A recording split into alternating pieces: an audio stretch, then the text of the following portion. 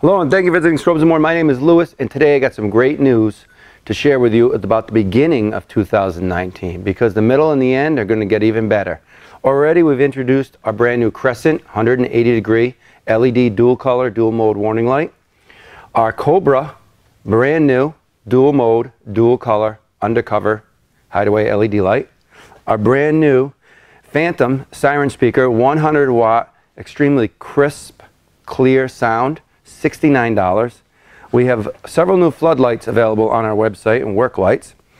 And we've already introduced years ago our next generation LEDs. Well, today we're going to share with you our next generation LED optics. Competitors 120 degree LED light, brand new strobes and more.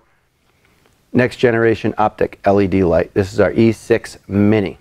As you can see, big difference in light output. Tried to find two patterns that were the same there's a 145 uh, degree off axis. You can see our light is still much, much brighter. So I'm going to get this right out of here to make room for some brand new products. And talk about our brand new light. All these other competitors are making you choose between spot and flood optics. Well, we're going to take the guesswork out of that.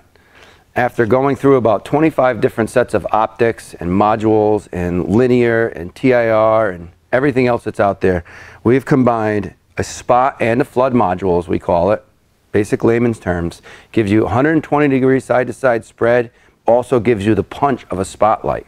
So you don't have to choose and you don't have to lose output. If you go with a strictly 120 degree optic, you lose a lot of the punch. With our new LED optic, you do not lose it, as you can see. The other nice things about the Strobes & More LEDs, in on a four head or four diode and six diode, we give you the option to choose all six flashing or half and half. A lot of the other competitors don't do that. With our brand new optic, which we've changed on our E6 Mini, our regular E6, which is one of the brightest light heads available today, our E4 and our E3 even, we've given you that center spot, and then the width, the wide flood with the outside module, or the outside uh, diodes. We've redone our flanges. Our flanges are going to be open on the ends now to give you a little bit more spread side to side as well, and that'll cover our E6 Mini and all our E6 series. And we're going to have an optional stacked flange as well. These will all be out in the next 30 to 45 days. They're going to start trickling into our dash lights starting in the next upcoming weeks. This is our brand new dash light with the optics, our triple threat. Incredibly bright light, one of the brightest LED lights on the market today for a dash. Extremely lightweight, have a flashback shield, two simple suction cups, it weighs hardly nothing. All of our LED sticks are being completely redone. We're switching over to our E6 Mini to make them smaller, both height, width, and depth.